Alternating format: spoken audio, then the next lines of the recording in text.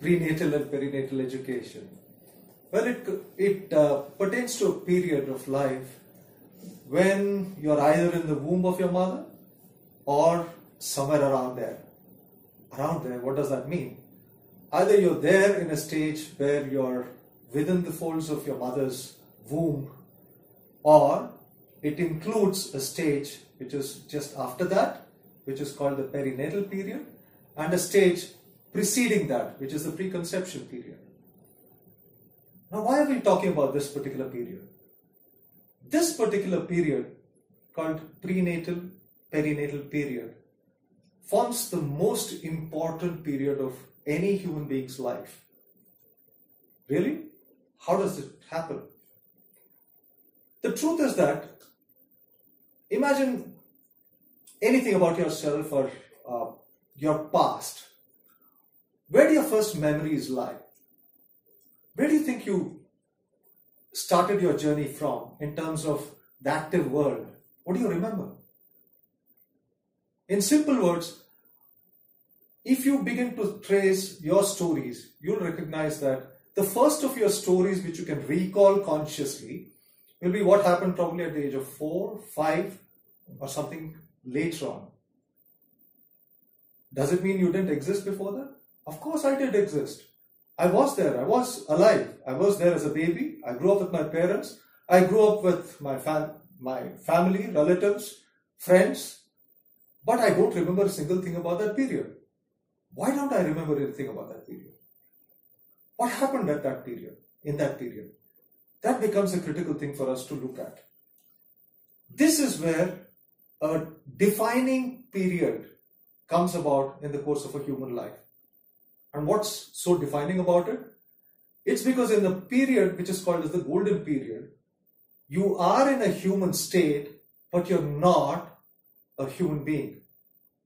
You're not a human being. What am I? You're actually a superior person compared to normal human beings. How are you superior? You are superior because you are empowered with certain faculties and you live with those faculties 24 bar 7 every instant of your life. And what is that? That is called the golden period of life when you function completely with your subconscious self. What subconscious? It looks like uh, Greek and Latin again. No, it's not. It's a fact of science today. We recognize that every human being has multiple dimensions of life and existence. We can very easily identify each other with our bodies. You have a hand, you have a face, you have a name, you have a structure, height, weight, all included. That's part of you. There's another part of me which is my emotions, my feelings, my engagements with others, which creates uh, interactions causing emotions and feelings. That's another part of me. There's a third component of me which tells me I can reason, I can think, I have um, conscious memory, I have a lot of other things. So I have a mind as well, mind and mind faculties with thoughts.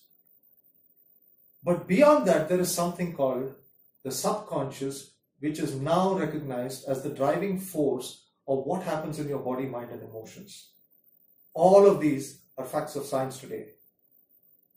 And science has progressed a long way over the last few centuries and come to a pinnacle in the course of the last four or five decades, where the entire contours of science have taken a very different kind of a definition.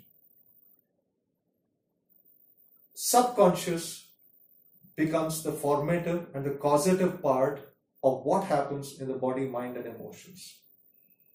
And the subconscious is formed, mark my words, is formed in the period called the golden period.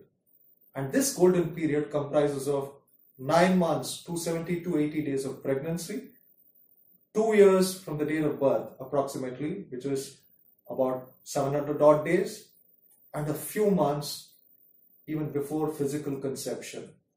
Combine the three and you get what is called as the golden period. And in that period, your entire focus is on constructing your subconscious, which makes the rest of you work in the course of life. And what happens in the rest of the course of life? Whatever happens in terms of intelligence, immunity, health, memory, tendencies, behavior, your proclivity for what disease you're going to get at what point of time, what kind of jobs you will take, every one of them is getting defined in this particular period. And this period is such an important period because whatever is going to happen in the rest of life is getting coded, is being put into formulae of operations. And how is this entity, be it in the baby form or in a prenatal form or even as an egg and a sperm, how are these entities creating this awareness and how are they fusing it together? That mechanism is very deep and very intense. But the people who are participating in that process, along with that child, invariably are the parents. And there's a very deep genetic, physical, epigenetic, and beyond connect between the baby and the parents. And therefore, in the process of formation of the subconscious, every aspect of what the child is going to be is being either conveyed through the mother or the father or they are actually causing the imprints to be made into the child.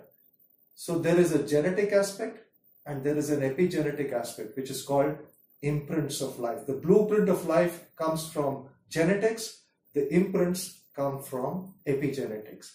How impressions get made onto the genetic patterns which are there. All this put together gives the foundational basis of life.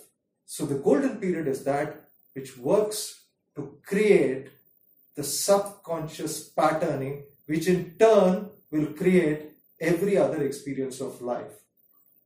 So, what are the areas you can work on? Physical aspects of the child, of a human being, emotional aspects, intellectual aspects, creative aspects, uh, spiritual aspects. Every aspect of a child can be covered by working with that child, with that entity in that period.